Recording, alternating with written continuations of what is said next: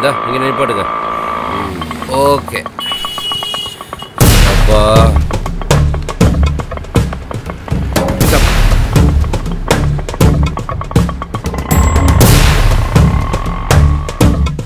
பிரசாத். அத்தை மாப்பிள்ளைக்கு எல்லா வேலையும் முடிச்சு நல்லபடியா கையோட கூட்டிட்டு வந்துட்டேன். இனி ஆக வேண்டிய வேலையை பாத்துக்குங்க அப்பா ஏதோ முக்கியமான விஷயம் பேசணும்னு சொன்னாரு. என்னம்மா விஷயம்? ஆமாப்பா. நீ உள்ள போ நான் சொல்றேன். என்னங்க? கோயிலுக்கு போயிட்டு வரணுங்க. அத்தை என்ன வந்தனே கோயிலுக்கு போகணுங்கிறீங்க? அது ஒரு நல்ல காரியத்தை பத்தி பேசணும். ஆமாத்த உங்க மகன் வந்தது நல்ல காரியம் தானே? பேசுங்க. நல்லா பேசுங்க. விடிய விடிய உட்காந்து பேசுங்க. பேசும்போது நம்ம இன்னொரு பொண்ணு பாக்குற விஷயத்த உங்க மகன்கிட்ட மறக்காம சொல்லிருங்க. எங்க சாமிக்கு காசு முடிஞ்சு வச்சிருக்கேன். அதை எடுத்துட்டு மாமா இங்க வாங்க. இங்க வாங்க மாமா. வாங்க.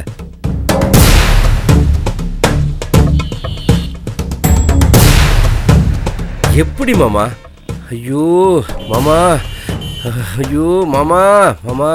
ஐயோ மாமா. என்ன மாப்பிள்ள என்ன மறுபடியும் ஆரம்பிச்சிட்டீங்க? என்ன விஷயம்? என் மனசு பூரா உங்க நினப்பாவே ஓடுது மாமா. மாமா என்னன்னு தெரியலையா? இங்க பாருங்க.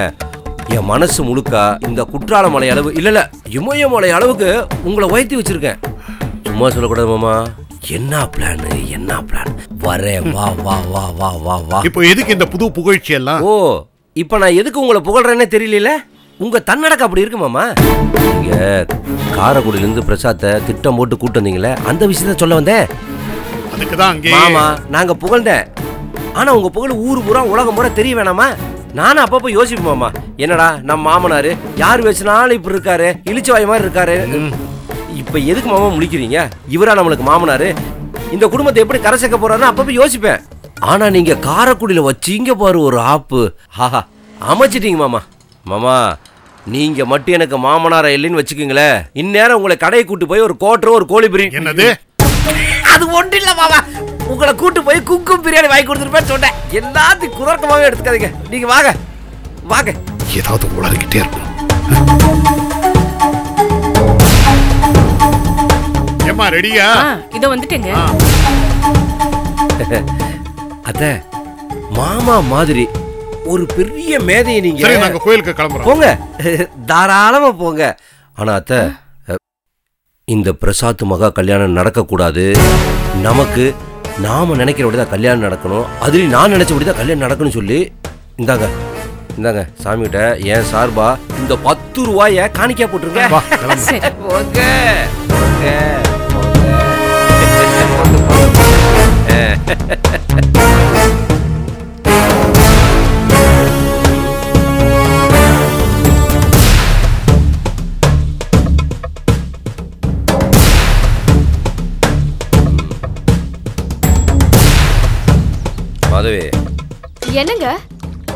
எப்ப வந்தீங்க? அப்பாதே வந்துட்டேன்டி. நான் மட்டும் இல்லை. ஒன்னே உங்க அப்பா எல்லாம் ஒன்றா வந்தோம். பிரசாதன வந்துருச்சா? ஆனா சும்மா சொல்லக்கூடாதுடி உங்க ஒப்பேன் பெரிய குதிரை நினைச்சேன். ஏன்? பெரிய முட்டாளு முழு முட்டாள் நினைச்சேன். ஆனா உங்க ஒப்பேன் பெரிய குதிரையா இருக்கான். அந்த வழுக்கு மண்டைக்குள்ள ஏய் எ, வழுக்குறோன்னு என்ன எதுக்கு பாக்குற? நான் உங்க ஒப்பாவோட வழுக்கி சொல்லிட்டு இருக்கேன். உங்க ஒப்பாவை வெறும் வழுக்க மணி தாண்டி நினைச்சேன். ஆனா எப்பேற்பட்ட மண்டக்காரனா இருக்கான்னு நினைக்கிறேன் ஆமா. எங்க அப்பா பெரிய கூதுரை தான் அதனால்தான் இப்ப ஏற்பட்ட மாப்பிள்ளை எனக்கு கட்டி வச்சாரு பாருங்க. மடக்கி பேசுறேன்னு சொல்லிட்டு என்ன மூக்கருக்கு பாக்குறியா? விஷயத்த சொல்றேன் கேட்டுக்கடி. நானு பிரசாத்துக்கு ஃபோன் பண்ணல அவன் என்ன சொன்னா? என்னால உடனே வர முடியாது. இன்னொரு நாள் வேலை இருக்கு. அது இதுன்னு சொல்லிட்டு இருந்தான்ல. அது உண்மைடி. நாங்க அங்க போறோம். அந்த மேஸ்தியோட மகன் மேல இருந்து கீழே விழுந்து கையில் அடிபட்டுருச்சு அவனுக்கு வைத்தியம் ஆக்கணும் அது இதுன்னு சொல்லி ஏகப்பட்ட பிரச்சனை சொன்னான்ல. அது உண்மை. ஆனா அவங்க அப்பா ஒன்னங்கிட்ட வந்து கிளம்புன்னு சொன்ன உடனே ஒன்னு அப்படியே முழிச்சா முழிச்சிட்டு இந்த மாதிரிப்பா அட்வான்ஸ் எல்லாம் வாங்க வேண்டியிருக்கு. இன்னொரு நாள் போலாம் பண்ணோடனே உங்க அப்பாவுக்கு வந்துச்சு பாரு கோவம். ஏன்டா எதுக்குடா இப்ப அட்வான்ஸ் வாங்குற? நாளை புனே வந்து போனா இந்த வீடு வேண்டாமா? அப்படி இப்படின்னு சொல்லிட்டு சத்தம் போட்டோன்னே உடனே வேற வழி இல்லாம அப்படி நைஸா முழிச்சாண்டி. சரிப்பா கிளம்புன்னு சொல்லி கூட்டிட்டு வந்துட்டோம். ஆனா உங்க அப்பா போட்டாரு பாரு ஒரு போடு. அப்ப உன்ன மூஞ்சி பார்க்கணுமே. அடேங்க அப்பா பத்து லிட்டர் எண்ணெய் கொதிக்கும் பாத்தியா? அப்ப ஒத்த பூரி போட்டோம்னா எப்படி புஷ்ஷுன்னு வீங்கும்? அந்த மாதிரி சந்தோஷத்துல ஒன்ன மூஞ்சி பூரிச்சு போச்சுடி என்ன சொல்றீங்க? ஆமாடி. அப்பேற்பட்ட மூலடி உங்க அப்பாவுக்கு என்ன தெரியுமா சொன்னாரு? நீங்க இருக்க வேண்டாம் உடனே கிளம்புன்னு சொன்னாரே. எதுக்கு? எதுக்கு? பிரசாத் அவன் வீட்டுக்கு போவான். அவன் வீட்டை சுத்தி யார் இருப்பா? சுத்தி அந்த நரி கூட்டம் தான் இருக்கும். யாரு? அந்த பெரியசோட குடும்பம் தான் அவங்க இவனை பார்த்து அழுவாங்க இவன் அவங்கள பார்த்து அழுவான். மாறி மாறி ஒப்பாரி வைப்பான்னு தெரிஞ்சு உங்க ஒப்பா திட்டம் போட்டு என் கூட வந்துடுறான்னு சொல்லி நைஸா பேசி கூட்டு வந்துட்டாரு.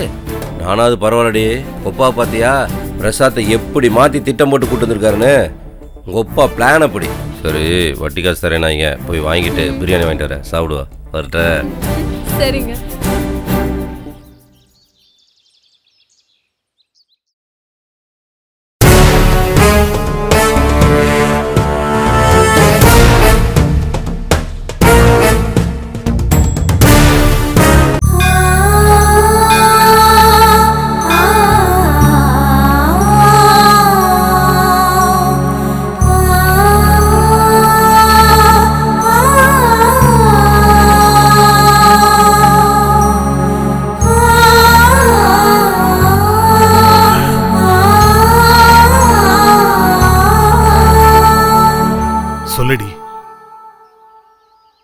சம்பந்தம் தம்பி சொன்ன ஒவ்வொரு வார்த்தையும் இன்னும் என் காதுல ஒலிச்சுக்கிட்டு தாங்க இருக்கு. அவ சின்ன பொண்ணு. அவளே நம்ம குடும்பத்து மேல இந்த அளவுக்கு நம்பிக்கை வச்சு பேசுறேன்னா நாம பெரியவங்க யோசிக்க வேண்டாமா? அதாண்டி எனக்கும் யோசனையா இருக்கு. மகா பிரசாத்துக்கு பொண்டாட்டியா வர்றதுக்கு எந்த அளவுக்கு ஆசைப்படுறாளோ அதை விட நமக்கு மருமகளா வரணும்னு தாங்க அவ ரொம்ப ஆசைப்படுறா. உண்மைதாண்டி. நாம தான் பெரிய தப்பு பண்ணிட்டோம். கொஞ்சம் நிதானமா யோசிச்சிருக்கலாம். இது பாரு இப்ப காரைக்குடிக்கு பிரசாத பார்க்க போனேன்ல. அப்ப நம்ம மாப்பிள்ள பிரசாத்துக்கு தொடர்ந்து டார்ச்சர் கொடுத்துக்கிட்டே இருந்தாரு. பிரசாதம் ஒரு கட்டத்துக்கு மேல பொறுக்க முடியாம வார்த்தையை விட்டுட்டான். என்னங்க? என்னாச்சு? அப்புறம் காலையில கிளம்பும் போது வாங்க மாமா போலான்னு கூப்பிட்டான். அதுக்கு நான் எதுக்கு அங்க வரணும்னு அவரு கேட்டாரு. அதுக்கு பிரசாத் நான் அங்க போனா மகாவை பார்த்து பேசிடுவேனேன்னு சொன்னான். அதுக்கு தான் உங்களை கூப்பிடுறேன்னு சொன்னான். உண்மையை சொல்லவா எனக்கு செருப்பால் அடிச்ச மாதிரி ஆயிப்போச்சு. என்னடா இது? நம்ம பிள்ளைய நாமளே சந்தேகப்படுறோமேன்னு. எனக்கு அப்படியே கண்ணுல கண்ணீர் வந்துருச்சு. சட்டுன்னு பிரசாதிய முகத்தை பார்த்து அப்பா நான் தப்பு பண்ணிட்டேன். என்னை மன்னிச்சிருங்க. இனிமே இந்த மாதிரி எல்லாம் நான் பேச மாட்டேன்னு சொல்லி கண்கலங்க ஆரம்பிச்சிட்டான். எனக்கு அப்படியே தூக்கி வாரி போட்டுது. ஆமாட்டி. நான் ஒரு நொடி கண் கலங்கினதுக்கே அவன் இவ்வளவு துடிக்கிறான்னா? அவன் ஆசைப்பட்ட பொண்ண நாம கல்யாணம் பண்ணி வைக்காம தினம் தினம் அவனை கண் கலங்க வைக்கிறோம்னு எனக்கு தோணுச்சு. எனக்கு அப்ப தாங்கவே முடியல. அது மட்டும் இல்ல வேலை செய்யற இடத்துக்கு போனா அங்க பிரசாத் கிட்ட வேலை செய்யற அத்தனை பேரும் அவன் தங்கமான தம்பி நீங்க கொடுத்து வச்சிருக்கீங்க நல்ல புள்ளைய பெத்து வச்சிருக்கீங்கன்னு சொல்றாங்க. ஆமாம்மா. பிரசாத் நம்ம பிள்ளையா இல்லையாங்கிற கேள்வியே எனக்கு அங்க வரல. எல்லாத்துக்கும் பிடிக்கிற மாதிரி நல்ல குணத்தோட இருக்கிற ஒருத்தன் வாழ்நாள் முழுக்க கண்கலங்கணுமா? அவன் வாழ்க்கையில தோக்கணுமான்னு அப்பவே யோசிச்சேன். மனசார அப்பவே நான் முடிவு பண்ணிட்டேன். பிரசாதுக்கு மகாவை கட்டி வைக்கணும்னு. ஆனா நீ என்ன சொல்லுவியோன்னு தான் மனசுல கொஞ்சம் பயம் இருந்தது. இல்லைங்க.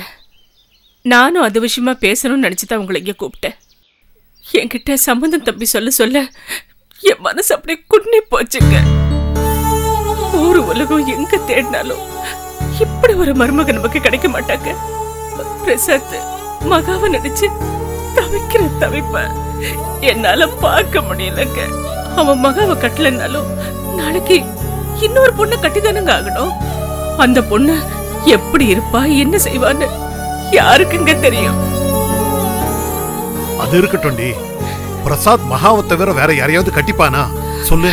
வாய்ப்பே இல்லைங்க. காலம் முழுக்க நம்ம புள்ள கல்யாணமே பண்ணிக்க மாட்டா. இது எல்லாத்தையும் விட பிரசாத்த மனசுல நினைச்சுதா நம்ம நினைப்பு அசிங்கம்னு எனக்கு தோணுச்சு. நீ என்ன சொல்ற? இப்ப வரைக்கும் பிரசாத் தானங்க நம்ம குடும்பத்துக்கு ஆதாரம். அவ நம்ம ஆசைப்பட்டதுல செஞ்சு கொடுத்திருக்காங்க. மகாவுக்கு கல்யாணம் நமக்கு சொத்து பத்துன்னு எல்லாம் நமக்காக தானங்க செஞ்சிருக்கா. எங்க ஊர் உலகத்துல பெத்த பிள்ளைங்க எத்தனை பேருங்க அப்பா அம்மா பேச்சு கேக்குறாங்க? சம்பாதிக்கிறாங்களோ இல்லையோ? இந்த காலத்து பிள்ளைங்களுக்கு காதல் மட்டும் வந்துருது. சொல்லாம கொள்ளாம பெத்தவங்களை விட்டு ஓடி போயிடுறாங்க. அதுலயும் அவன் தான் அந்த குடும்பத்துக்கு ஆம்பளையா இருந்து அவன் மட்டும்தான் சம்பாதிக்கிறான்னா பெத்தவங்களை வேலைக்காரங்க மாதிரியில் நடத்துறாங்க. ஆனா நம்ம பிரசாத் ஏன் எதுக்குன்னு ஒரு வார்த்தை கேட்டதில்லைங்க. தாயர் சிறந்த கோவில் இல்ல. தந்தை சொல்மிக்க மந்திரம் இல்லைன்னு நம்ம காலடையிலே தானங்க கிடக்குறான் இல்லம்மா என்னால முடியாது. மகாதான் என் பொண்டாட்டி நம்ம சொல்லி இருந்தா நம்ம என்னங்க பண்ணிருக்க முடியும்? சொல்லுங்க. ஒன்னும் பண்ணிருக்க முடியாது. அவனை தடுக்கிற சக்தி நமக்கு இல்லை ஆனா புள்ள நீங்க சொன்னா சரிமான்னு சொல்லி அத்தனை துக்கத்தையும் அவன் மனசுக்குள்ள சுமந்துகிட்டானே. இப்போ இப்படிப்பட்ட ஒரு பிள்ளைக்கு நாம துரோகம் பண்ணணுமாங்க? வேண்டாங்க. அவன் ஆசைப்பட்டபடி அந்த மகாவிய கட்டி வைக்கிறதாங்க சரி. அதுதான் நல்லது. நாம சுயநலத்துல எடுத்த முடிவு பிரசாதோட வாழ்க்கையை கெடுக்கிற அளவுக்கு போயிடுச்சுமா? ஆமாங்க. நாம தான் யோசிக்காம விட்டுருக்கோம். பாருங்க கல்யாணம் முடிச்ச கையோட பிரசாத்த நம்ம குற்றாலத்துக்கே கூட்டு வந்துட போறோம். காரக்குடியிலேவா இருக்க போறோம். பிரசாத்துக்கு அங்க கொஞ்ச நாள் தான் வேலை. கட்டடம் முடிஞ்சதும் அவன் தானா இங்க வந்துட போறான். பிரசாத் மீனாட்சி அம்மா புள்ளைங்கிறது இப்ப வரைக்கும் இந்த நொடி வரைக்கும் நமக்கு மட்டும்தானே தெரியும்? வேற யாருக்கும் தெரியாது. ஏங்க தேவையில்லாம இந்த உண்மைய நாமளே நம்ம பிரச்சனை எதுக்கு வெளியில காட்டிக்கணும்? கல்யாணம் முடிஞ்ச கையோட அவனை கூட்டிட்டு போயிடுவான் அவன் இங்க அங்கன்னு வந்துட்டு போகட்டும். நாம வாய திறக்கிறது வரைக்கும் பிரசாத் நம்ம மகன் தாங்க. இனி சொல்றதுக்கு எதுவுமே இல்ல. இதான் சரியான முடிவு. அப்படியே பண்ணுவோம். எங்க பிரசாத் கிட்ட நீ மகாவை கட்டிக்கடான்னு சொன்னா அவ எவ்வளவு சந்தோஷப்படுவான் கேட்கவா வேணாம் இந்த முடிவை இப்பவே அவன் கிட்ட சொல்லி கல்யாண வேலையை நம்ம ஆரம்பிப்போம். கிளம்பு.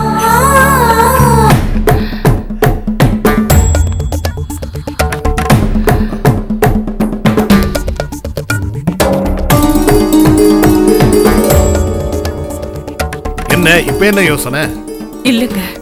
இப்போ நாம மனசு மாறிட்டோம். ஆனா மகா வீட்ல அவங்க இந்த கல்யாணத்துக்கு ஒத்துக்குவாங்களா? அவங்க மனசுல என்ன ஓடுதோ நாம அவங்கள அந்த பாடுபடுத்திருக்கோமேங்க. மனசு விடாதரி கோயில்ல வச்சு நம்ம நல்ல காரியம் பேசியிருக்கோம். ஆண்டவன் நம்மளை கைவிட மாட்டாரு. மணி அடிக்குது பாரு. நம்பு நல்லதே நடக்கும். அதுக்கும் மேல அவங்களும் இதைத்தான் எதிர்பார்த்துட்டு இருப்பாங்கன்னு என் உள் மனசு சொல்லுது. நம்பிக்கையோட போவோம். வா. இனி எதுக்கும் கவலைப்படாத.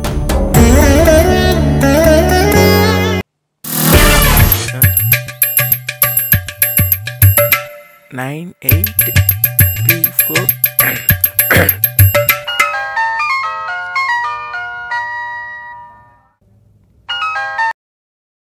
hello hello நான் வாட்டர் கேன் கம்பெனில இருந்து வாட்டர் கேன் சப்ளை விஷயமா? வாட்டர் வெற்றிவேல் பேசுறேங்க. உங்ககிட்ட ஒரு டூ மினிட்ஸ் நான் பேசலாமா? வாட்டர் வேணா ஒண்ணு வேணாம். போன வைங்க. இதே பொழப்பா போச்சு உங்களுக்கு. ஹலோ ஹலோ ஹலோ இது வந்து குற்றால அருவியிலிருந்து வர்ற மூலிகை தண்ணியை சேகரிச்சு நாங்க தர்றோங்க. இதை குடிக்கிறவங்களுக்கு வந்து குண்டா இருக்கிறவங்க ஒல்லியாவாங்க ஒல்லியா இருக்கிறவங்க குண்டாவாங்க. உங்க குரலை கேட்கும் பொழுது நீங்க ஒல்லியா இருப்பீங்கன்னு தான் தெரியுது. நீங்க ஏன் இதை குடிச்சு சாப்பிட்டு ஒல்லியாக கூடாது. ஹலோ யார் ராணி? இப்போ நீ பேசிட்டு இருக்கிறதுல ரெக்கார்ட் ஆயிட்டு இருக்கு. நான் போலீஸ்ல கொடுத்தனா என்ன ஆகும் தெரியுமா? ஏய் ஏய் ஏய் காயோ காயோ காயோ நான் தான் ஐயோ நீங்களா? எப்படிங்க இருக்கீங்க? யார்கிட்டடி பேசிட்டு இருக்க? ஃப்ரெண்டுக்கா சொல்லுடி. என்ன? யாரும் வர்றாங்களா? அதுக்கெல்லாம் நீ எதுக்கு இப்படிலாம் பயப்படுற அப்பெல்லாம் யாருக்கும் பயப்பட ஆ ஆமாண்டா. ஆ, சொல்லுடா. அங்கேயும் ஆள் வராங்களா? ஆமாண்டா. நீ பயப்படுறது கரெக்டு தான்டா. என்ன செய்யறது கொஞ்ச நாளைக்கு இப்படியே பயந்தே இருப்போம். போ போ எல்லாம் சரியாயிரும்டா. ஆமாக்கா ஐயோ. நீ எப்படி இருக்காங்க? ஆ, ஆ நல்லா இருக்கேன்டி என் போன் எப்பெல்லாம் வரும்னு காத்துக்கிட்டு இருப்பியாடா? ஆமாண்டி ரொம்ப வெயிட் பண்ணிட்டு இருந்தேன் காயு ஐ லவ் யூ ஆ சரிடி. என்ன சொல்லுடி? நீ நீ சொல்லு. ஏன்டி இப்படி பேசுற? ஐயோ அக்கா இருக்காங்க. ஏதாவது பிரச்சனை ஆயிட போதுங்க. எல்லா வீட்லயும் பிரச்சனை தான். எங்க வீட்ல அப்படி பிரச்சனை இல்லாம இருக்கு. எங்க வீட்ல என்ன? காலையில நான் தூங்கிட்டு இருக்கும்போது எங்க அப்பா வந்து உசுப்பி டேய் போய் ரெண்டு பிள்ளை லவ் பண்ணிட்டு வாடான்னு சொல்லி அனுப்பிச்சுடுறாரு எல்லா வீட்லயும் பிரச்சனை இருக்குமா? எங்களுக்கும். அச்சம் மடம் நாணம் பயிர்ப்பு மானம் மரியாதை துவர்ப்பு காப்பு எல்லாம் இருக்குமா? சும்மா இல்ல. நீ சிரிக்கும் போது அப்படியே சோழியை இறைச்சு அப்படியே உருட்டுற மாதிரி இருக்கு. போங்க புதுசா ஏதாச்சும் சொல்லுங்க. புதுசாவா? இந்த வெயிட் மிஷின்ல வெயிட் பாக்குறது காசு போட்டோன்னே வரலன்னு சொன்னா ஓங்கிட்டு மிதிப்போம்ல. அப்போ ஒரு சத்தம் கேட்கும்ல கலகலன்னு அந்த மாதிரி. ஐயோ ஏங்க இப்படி சில்லறத்தனமா பேசுறீங்க? ஐயே நான் மெஷினை சொல்லல. அந்த மெஷினை எட்டி உதைச்சா சில்லற காசெல்லாம் கலகலன்னு கொட்டும்ல. அந்த சத்தமாய் அழகா இருக்கு உன் சிரிப்பு. அதைத்தான் நான் சொன்னேன். அப்படியா இருந்துச்சு? ஐயோ ஐயோ சில்லற கொட்டுதே சில்லற கொட்டுதே காயோ. என்னடி? போன்ல இழிப்பு? சரிடி நான் அப்புறமா பேசுறேன். அக்கா ஆ திட்டுறாங்க பரவாயில்ல பேசு. நான் வச்சிடுறேன். சோலை புஷ்பங்களே என் இந்தாங்க காஃபி.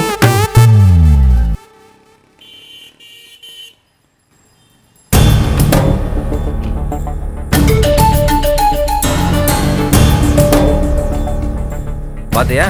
மக வாழ்க்கையில உருளாரி மண்ணலை தலையில ஊட்டிட்டு எவ்வளவு சந்தோஷம் வர்றத பாத்தியா சும்மா சொல்லக்கூடாதுடி. ரெண்டும் பெரிய திராளங்கடிங்க ம்? ஒரு குடும்பத்துக்கு எடுத்துட்டு இப்படி சந்தோஷம் பேசி தரத பாத்தியா நல்லா பண்ணலாம் பாரு. ஆமாங்க. வாங்க மாமா. கோயில போய் நல்லபடியா சாமி விட்டீங்களா. என்னத்த? நான் வேண்ட மாதிரி தானே கோயில காணிக்க போட்டீங்க? ஆ. சரி பிரசாத் கிட்ட போய் சரி. சொல்லி.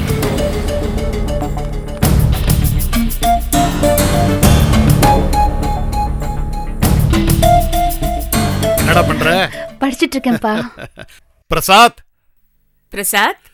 பிரசாத்? என்னப்பா? சொல்லுடி நானும் உங்க அப்பாவும் ஒரு நல்ல விஷயம் பேசி என்ன வச்சிருக்கோம் விஷயம் கொஞ்சம் அமைதியா இருக்கீங்களா? சரி மாமா நீங்க சொல்லுங்க. என்னன்னு கேட்க மாட்டியா?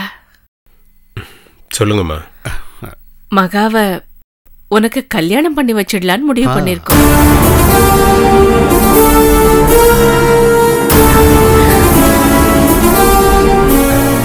என்ன பிரசாத் இவ்ளோ சந்தோஷமான ஒரு விஷயத்த சொல்லிருக்க நீ எதுவும் பேசாம இருக்க? இதுதான் இப்ப நீங்க பேசி வச்ச விஷயமா?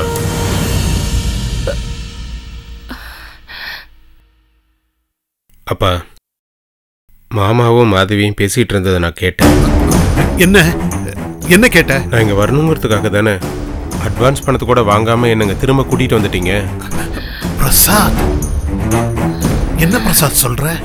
இருங்க. பிரசாத். நாங்க எங்க மனசுல நினைச்சதை சொல்லிடுறோம்ப்பா நானும் அப்பாவும் மகாவை முதல்ல கட்டிக்க வேண்டான்னு தான் சொன்னோம். ஆனா யோசிச்சு பார்த்ததுல எங்களுக்கு எங்க முடிவு தப்புன்னு தோணுச்சுப்பா. அதனாலதான் கோயில்ல உட்காந்து பேசி ஒரு நல்ல முடிவுக்கு வந்திருக்கோம். நீ மகாவை கல்யாணம் பண்ணிக்கிறதுல எங்களுக்கு எந்த பிரச்சனையும் இல்ல. பரிபூர்ண சம்மதம். அம்மா நிஜமா தான் சொல்றீங்களா? உனக்கு நம்பிக்கை இல்லையா? உன் மேல சத்தியமா? ஆமா பிரசாத். உன் சந்தோஷத்தை தவிர இந்த உலகத்துல எங்களுக்கு வேற என்னதான் பெருசா இருக்கு? ஆ? நீ மகாவை கல்யாணம் பண்ணிக்க.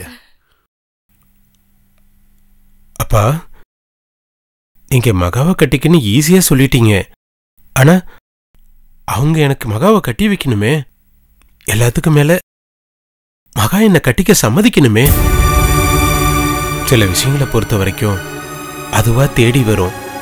தானா அமைஞ்சு வரும். நாம தான் கதவை திறந்து வச்சிருக்கணும்.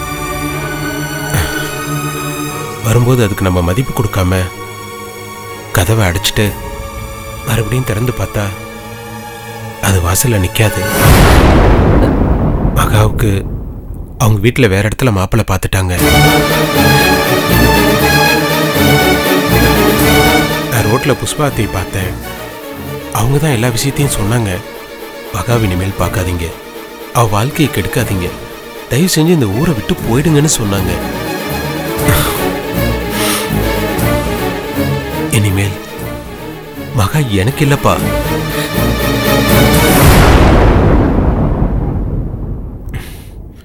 என்ன சொல்ல போனா அவளை கல்யாணம் பண்ணிக்கிறேன்னு சொன்னேன். வேண்டான்னு சொல்றதுக்கான காரணத்துக்கு விளக்கம் சொல்ல முடியாத கோழையாயிட்டேன். இப்ப போய் மகாவை கல்யாணம் பண்ணிக்கிறேன்னு சொன்னனா அவ என் மூஞ்சில காரி துப்புவா. மகா ஒன்றும் பொம்மை இல்லை. அவளுக்கும் உணர்வுகள் எல்லாம் இருக்கு. நம்ம இஷ்டத்துக்கு கட்டிக்கிறேன்னு சொல்றதும் வேண்டான்னு சொல்லி எத்தி விட்டு விளையாடுறதுக்கு ஒன்றும் பந்து கிடையாது. ஆமாப்பா. இப்போ நான் எந்த முகத்தை வச்சுட்டு அங்கே போய் பேசுவேன்? இல்லை உங்களால தான் எப்படி போய் பேச முடியும்? இதையே ஒரு விஷயம்னு சொல்லி ஏடா கூடமா எதையும் போய் பண்ணிடாதீங்க. நீங்கள் சொன்னீங்கிற ஒரே காரணத்துக்காக தான் மகாவை நான் வேண்டான்னு சொன்னேன். இப்போ நீங்கள் சொன்னீங்களே உங்கள் சந்தோஷத்துக்காக தான் உங்கள் சந்தோஷம் தான் எனக்கு முக்கியம். உங்களை நான் எப்போவுமே ஏமாற்ற மாட்டேன். என் மனசில் மகா விஷயமா என்ன இருக்குன்னு தெரிஞ்சுக்கிறதுக்காக தானே மகாவை நீ கல்யாணம் பண்ணிக்கிறியான்னு கேட்டீங்க.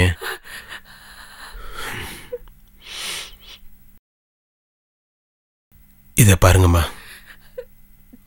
என் மனசெல்லாம் ரணமா இருக்கு. மறுபடியும் சோதிச்சு பார்க்காதீங்க. ரொம்ப கஷ்டமா இருக்குமா?